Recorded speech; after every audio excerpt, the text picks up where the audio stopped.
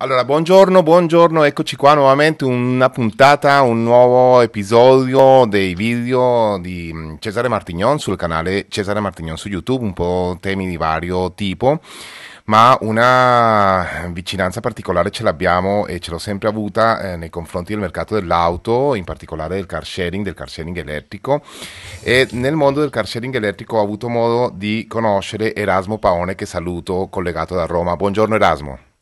Buongiorno a tutti, buongiorno Cesare. Buongiorno Erasmo, allora mi, è molto importante, molto interessante in questo periodo uh, affrontare un po' tutti i temi dell'economia in generale, e, ma eh, un tema fondamentale un po' per il mercato europeo, per il mercato italiano è quello delle, delle auto. E una vita la tua professionale, eh, caro Erasmo, eh, dedicato al, al, al, mondo dell'auto, al mondo del noleggio in generale, eh, hai lavorato nell'ambito del leasing finanziario, una lunga carriera eh, che ti ha portato a diventare direttore generale del gruppo Europe Car Fleet Services e poi amministratore eh, delegato del gruppo Lease Plan per il quale hai eh, guidato la fusione eh, con uh, Europe Car Fleet Services. No? Tutte queste eh, certo. esperienze anche una, una, un, un'importante collaborazione a fianco del compianto Marchionne come vicepresidente esecutivo del gruppo Fiat e presidente di Fiat Autovar. Erasmo, allora, la domanda di tutti, come, part- come ripartiamo? Come si fa a, a, a, a guardare al futuro, a guardare al mondo dell'economia, al mondo dell'auto, eh, dopo un periodo di due mesi di eh, stop totale, quasi come se fosse una guerra, una cosa storica che nessuno potrà più dimenticare che che nessuno può non considerare? Ma eh, guarda, eh, l'anno scorso, eh, come capita quasi tutti gli anni, abbiamo fatto un esercizio previsionale che si è rivelato particolarmente preciso. In quel caso c'erano dei trend in corso, dei nuovi trend che abbiamo ben identificato, eh, quale per esempio la demonizzazione del diesel, la crescita dell'elettrico, e siamo riusciti a essere anche in questo canale molto precisi. Quest'anno eh, è tutto eccezionale, come tu mi dicevi. E I numeri fatti fino ad oggi non contano, il meno 90, meno 97 non, non dice nulla, sono i numeri di, una, di un'attività che è praticamente chiusa. E, eh, quindi eh, si tratta veramente di capire se il SARS-2 Covid e tutto quello che ne è diciamo, scaturito hanno comportato una modifica sostanziale ai trend. Eh, tra l'altro è notizia di ieri che i concessionari sono aperti, ma giusto per capire che siamo ancora in piena, eh, in piena emergenza, eh, ieri, ieri, sera è arrivato un chiarimento che i clienti non possono andare dai concessionari, cioè che non è una motivazione valida quella di andare a comprare un'automobile. Quindi siamo nella, nella situazione in cui non so se quasi se un concessionario conviene aprire, forse ne converrebbe ancora utilizzare la cassa integrazione, insomma, comunque sicuramente apriranno a scartamento ridotto. Ora, ehm, devo dire che eh, ho notato innanzitutto che il settore dell'auto, come da diversi anni ormai a questa parte, non ha brillato per capacità di reazione eh, cioè sono continuate le pubblicità classiche, i modelli classici, quasi come se nulla fosse successo, quasi come se fosse una petroliera per la quale è molto difficile invertire anche di un grado la rotta. E ora eh, per me questa reazione delle case è insufficiente. Tu prima hai parlato del noleggio, ci torneremo, spero, immagino, nel corso dell'intervista, ma eh, per esempio nel noleggio a lungo termine non è stata emanata nessuna norma né nessun accordo tra le case per come gestire questa situazione, per cui ci sono clienti che sono in grande difficoltà, non possono pagare i canoni, ma non c'è stato un accordo del noleggio simile a quello per esempio che è accaduto per i mutui, dove almeno si sono rinviati di sei mesi. Ora, tutto questo mi fa pensare che il settore dell'auto, che è un po' in crisi permanente, salvo rimbalzi dal 2008 ormai, quindi sono 12 anni, non sia altro che, eh, diciamo così, il sintomo di un modello di mobilità e di distribuzione che eh, inesorabilmente sta cambiando e quindi ogni anno si dimostra più inadeguato. Allora ho fatto un esercizio all'interno di un master in cui sto tenendo delle lezioni all'Università di Roma ovviamente senza il contatto con gli studenti, e eh, ho provato a buttare giù, Cesare, degli elementi eh, di analisi che siano comprensibili per tutti. Cosa io vedo come eh, elementi negativi eh, di questo? Cosa? Innanzitutto l'incertezza tecnologica. Ci sono delle macchine molto belle che sono state messe in commercio, ma che rappresentano una tecnologia di dieci anni fa. Quindi molta meccanica, eh, diciamo così, motori tradizionali e noi sappiamo che purtroppo eh, abbiamo avuto un segnale proprio qui nella capitale quando è stato fermato anche l'Euro 6. Cioè, quella è stata diciamo, una dichiarazione proprio fortissima che secondo me è destinata a incidere molto sul mercato. Secondo punto, quindi incertezza tecnologica, che se anche mi volessi impegnare, oggi avrei dei dubbi su quale macchina comprare. La seconda è eh, la bassa priorità, cioè secondo me in questo momento con le aziende chiuse, le persone in cassa integrazione, parenti che non ci sono più, eccetera, eccetera, probabilmente l'automobile è, è una priorità solo per chi è veramente forzato a comprare, quindi ci sarà un rinvio delle decisioni di acquisto. Terzo punto, per lo stesso motivo, c'è una difficoltà economica generalizzata anche in fasce di consumatori medio-alti e quindi ci sarà una scarsa propensione agli acquisti si tenderà di, anche qui, eh, diciamo, anche questo è un fattore che porterà a un rinvio della domanda. Mi viene facile immaginare che molti diranno, beh, porto avanti la vecchia carretta e poi vediamo. E infine eh, abbiamo una domanda per noleggio a breve termine che sicuramente si sarà quasi azzerata in quanto il noleggio a lungo termine sta vivendo un momento di straordinaria difficoltà. A differenza di quello di lungo termine, che essendo un punto di lungo termine deve gestire dei trend, ma ha anche dei tempi di reazione più comodi, diciamo, il noleggio a breve in questo momento è fermo e le grandissime, i grandissimi leader di mercato eh, stanno tutti in grandissima difficoltà e non è una difficoltà del mercato nazionale, ma del mercato internazionale. Quindi non trovano supporto nelle case madri che hanno lo stesso problema in tutte le nazioni. Questa è un'immagine piuttosto negativa, no? nel senso non, non, ho messo a disposizione strumenti particolari, nel noleggio a lungo termine non ho reagito, incertezza tecnologica, bassa propensione agli acquisti, eh, diciamo, difficoltà economiche e noleggio a breve tempo. Ho cercato eh, anche di vedere un po' di luce in questo scenario e eh, questo scenario mi, mi fa notare che sempre partendo dalle nostre precisioni, dalle nostre precise pre- previsioni dell'anno scorso, in realtà siamo rimasti sorpresi da un elemento. Gli ultimi due mesi dell'anno sono stati molto positivi e hanno permesso di recuperare quel gap del 4-5% che si era accumulato durante l'anno. Quindi, se tanto mi dà tanto, eh, si presupponeva, c'erano dei buoni presupposti per l'inizio del 2020.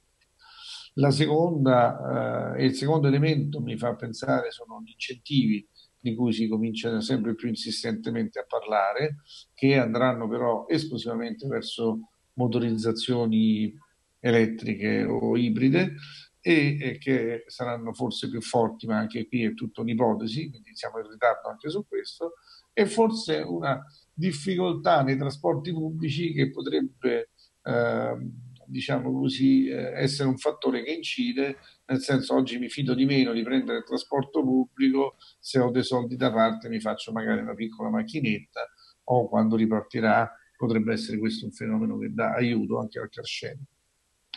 Di conseguenza questa analisi che non mi vede, come, come capito, eh, ottimista, ma anche non, non, non, non gettiamo le armi, eh, mi porterebbe a ipotizzare eh, circa 1 milione e 3, 1 milione e 350 mila immatricolazioni verso il milione 916 dello scorso anno, quindi una caduta del 30%. Poi qui ci sarebbe da farsi una domanda, come, come resisterà questo settore a una ulteriore caduta del 30%, ma questo è un altro discorso. Mm, in uno scenario così delineato, Erasmo, eh, il, il, fattore del, del, prezzo, del, prezzo, del petrolio molto basso um, ha delle ripercussioni sullo sviluppo del mercato dell'elettrico. Guarda, teoricamente potrebbe avere ripercussioni eh, sul mercato dell'elettrico, nel senso di rendere, di dare un soffio di vita a motorizzazioni, diciamo, che consumano benzina o anche il diesel. Che, innanzitutto io non ho notato un crollo alla pompa, cioè c'è stata una notevole una diminuzione, però non è che oggi andiamo a pagare un litro di benzina a 50 centesimi.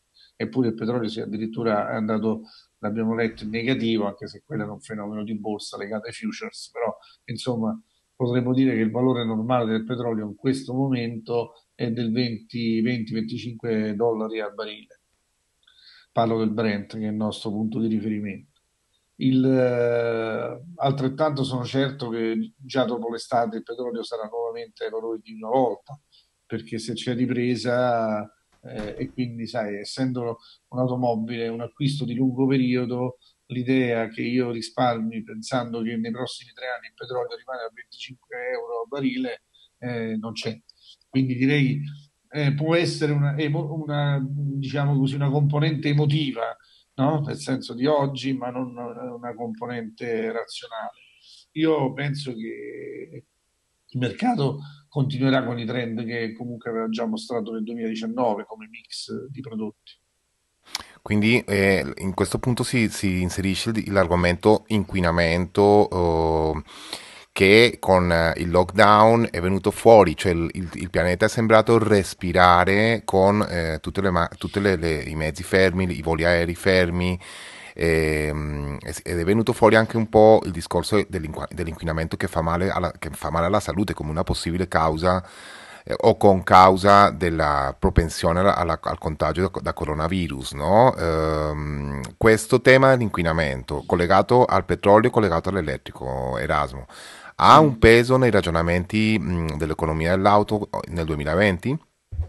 Dovrebbe averlo mi fa piacere eh, se i nostri ascoltatori diciamo, ci seguono un attimo anche fare una piccolissima panoramica di quello che è successo nel mercato elettrico nel, nel 2019 perché eh, è un po' sorprendente, però ci porta esattamente alla domanda che tu hai fatto. Nel 2019 noi abbiamo avuto una uh, flotta di elettrico che è cresciuta in tutto il mondo di circa un milione e mezzo di veicoli, arrivando a una quota globale del 4%, verso i 4 milioni di veicoli nel 2018, con una quota globale del 2,2%. Quello che però eh, è sorprendente, eh, che, proprio per questi studi recenti che, che, stiamo portando avanti, è che in Cina, che è eh, la patria dell'elettrico, se questa è una notizia, diciamo così, ormai diffusa, insomma, comunque diciamolo, la Cina è la patria dell'auto elettrica, eh, c'è stato un incremento clamorosamente basso, cioè solo il 3% nel 2019. Eh, e ehm, la Cina rappresenta ancora il 53% delle vendite di elettrico del mondo, ecco. capiamoci, metà del mercato elettrico è in Cina e quel mercato lì è cresciuto solo del 3%. Eh, il mercato è, è eh, diciamo, eh, addirittura sceso in Giappone e eh, in, in, America. In America è sceso addirittura del 12%. Allora, questo potrebbe far pensare eh, al fatto che il fenomeno dell'elettrico si sia sgonfiato, perché se la tre patrie dell'elettrico, cioè la Cina, Giappone, gli Stati Uniti realizzano risultati così, ovviamente eh, c'è da farsi qualche domanda. Arriviamo però all'Europa e leggiamo più 44%. Quindi il vecchio continente, dove la qualità della vita è tenuta in grande considerazione e eh, dove ci sta forse la popolazione mediamente più ricca, ha risposto in modo completamente opposto al resto del mondo. Quindi al più 3% della Cina, al pareggio del Giappone e almeno 12% degli Stati Uniti ha risposto un più 44% e quindi globalmente l'elettrico è cresciuto. Va anche detto che eh, se, eh, io non, non sono un grande esperto di cultura americana, però sono rimasto altresì sorpreso del 20% di crescita dell'elettrico in Canada. Quindi abbiamo gli Stati Uniti meno 12 e Canada più 20. Ora probabilmente qualche amico più esperto di quell'area geografica ci dirà che Canada e Stati Uniti eh, sono solo apparentemente simili, però insomma da italiano e poco esperto come ho dichiarato sorprende anche questo dato. Allora, in questo scenario sicuramente, eh, ah, poi se sei curioso, eh, ti posso anche dire che la macchina più venduta elettrica al mondo, tu la conosci bene perché sei stato uno dei primi a provarla e a guidarla in Italia e quindi è un antesignano, è la Tesla. Eh, al secondo e terzo posto ci sono le macchine cinesi che non vengono vendute in Europa. Quindi aspettiamoci che i cinesi, se hanno un problema sul mercato interno, cercheranno di sfociare su quello europeo con prezzi che sono anche del 30% più bassi delle nostre vetture. E ricordiamo anche che la Cina produce il 92% delle batterie, quindi l'inaffidabilità del prodotto cinese in questo caso però si scontra col fatto che la macchina elettrica inesorabilmente ha un cuore cinese o, o per tutti. Per, e quindi diciamo eh, ci sono questi segnali contrastanti. Su questo, io penso che il Covid abbia in qualche modo reso eh, la popolazione più sensibile alla tematica dell'inquinamento. E, eh, noi sappiamo che oggi siamo arrivati all'Euro 6, che l'Euro 6 per la prima volta si è diviso in quattro sottogruppi, quindi giusto per confondere l'idea dei consumatori che non sono tecnici e dovrebbero invece essere aiutati nelle loro scelte. Oggi noi abbiamo l'Euro 6D, cioè avremo l'Euro 6D che eh, diciamo così eh, praticamente tiene conto sia del nuovo metodo di rilevazione su strada che si chiama VLTP, Worldwide Harmonized Light Vehicles Test Procedures, e eh, del fatto che le prove adesso si fanno su strada e non più in laboratorio. Questo, come tu sai, eh, creò una, di scompenso eh, nel mercato nel 2018 perché ad agosto avremo un boom di svendite di vecchie immatricolazioni da settembre 2018 ci sta questo VLTP che diventerà ancora più severo dal primo gennaio 2021 e qui torniamo, vedi come tutto torna Cesare, anche all'incertezza tecnologica. Cioè io oggi compro una macchina che apparentemente è immatricolata in un certo modo, tra sei mesi quella stessa macchina ci avrà un'altra immatricolazione e dirà più, diciamo così, più fedelmente quant'è l'inquinamento e il consumo che quella macchina produce. Ogni eh, approssimazione che noi facciamo, e ricordo che il dottor Marchionne diceva che eh, oltre l'Euro 6 era già una frontiera tecnologica diciamo così, difficilmente raggiungibile veramente, poi tutti gli scandali del Dieselgate, eccetera, ce l'hanno dimostrato. Eh, oggi, eh, diciamo, le macchine inquinano in, molto, molto, molto meno del passato e soprattutto eh, questi dati sono dichiarati oggi. Uh-huh. Però se andiamo a vedere quello che è successo nel mondo, Cesare, l'inquinamento è calato del 45% a Madrid, del 47% circa a Roma e Milano e del ben 55% a Parigi.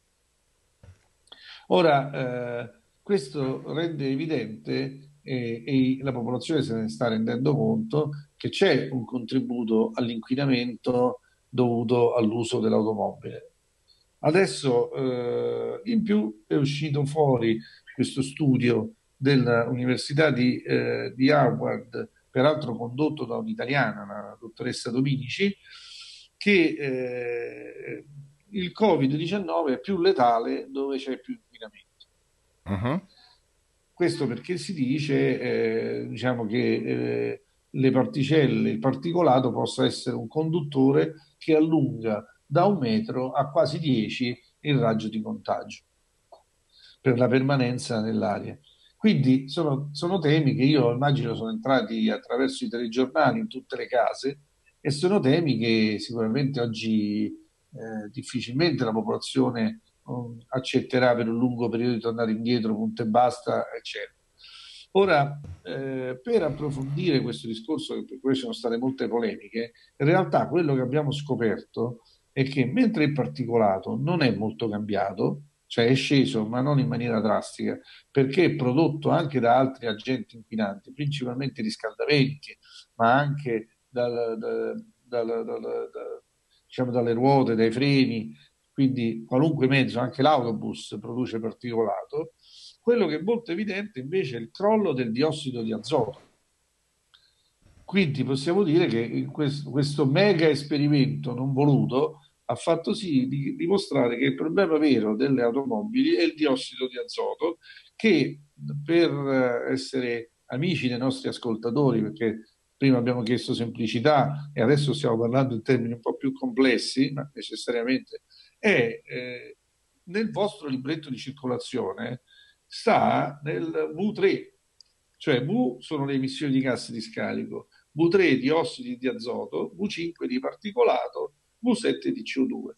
Quindi eh, se volete vedere quanto la vostra macchina contribuisce con le attuali metodologie di analisi e che peggiorerà quando le metodologie di analisi saranno più, ancora più corrette, andate a vedere le voci V3 e V5 V7. Ce l'avete scritto sul libretto.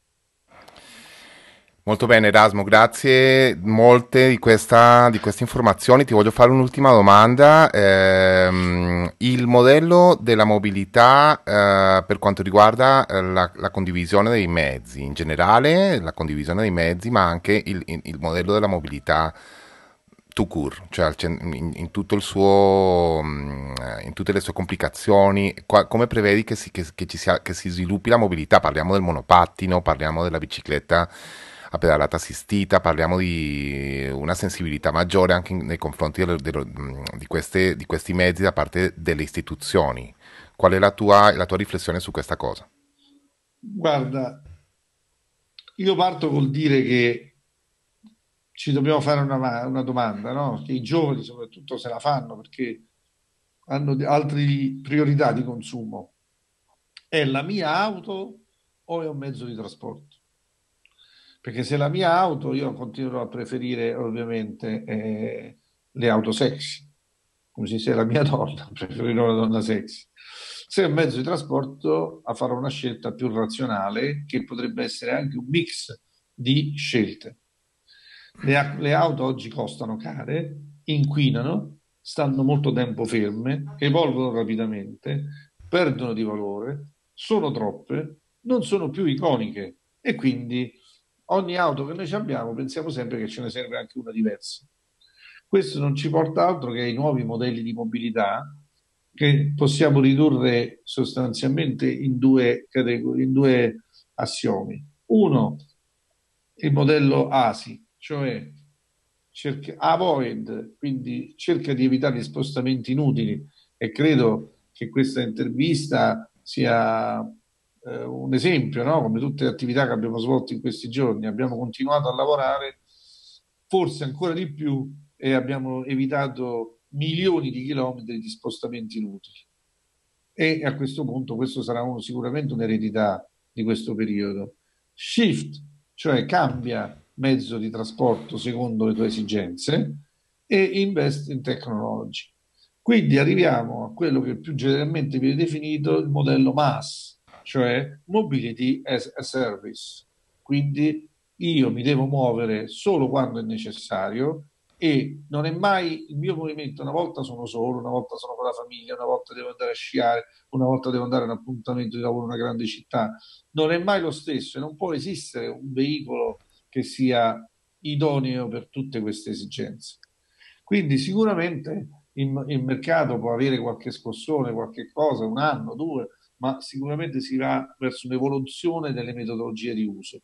Quindi il car sharing, il per, per use, il noleggio sono sicuramente delle formule che, diciamo così, socio-economiche oltre che tecniche di, di, di movimento. Quindi io vedo per loro comunque un futuro, non nell'immediato perché c'è questo problema oggi del distanziamento sociale e quindi oggi ovviamente il car sharing può soffrire per questo, no? perché se tu mi chiedi di eh, igienizzare un'auto ogni volta che la usa e ci sono dei noleggi di 16 minuti, ovviamente il costo sarebbe, salirebbe alle stelle, no? Certo. E, e, quindi è impossibile. Però nel medio-lungo periodo non c'è dubbio che questo sarà il trend di mobilità.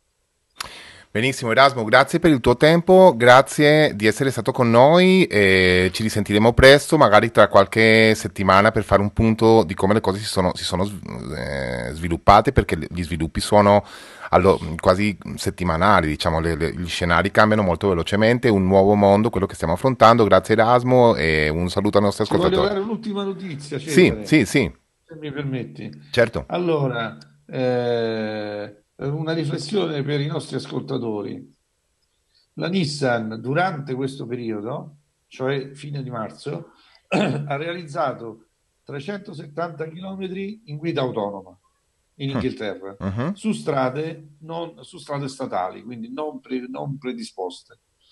E che ne sai che questo non sarà un altro gran trend di cui parlare molto presto?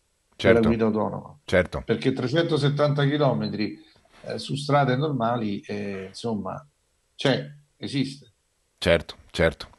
Molto bene, grazie Erasmo, un saluto a tutti i nostri ascoltatori, grazie. Un saluto, arrivederci.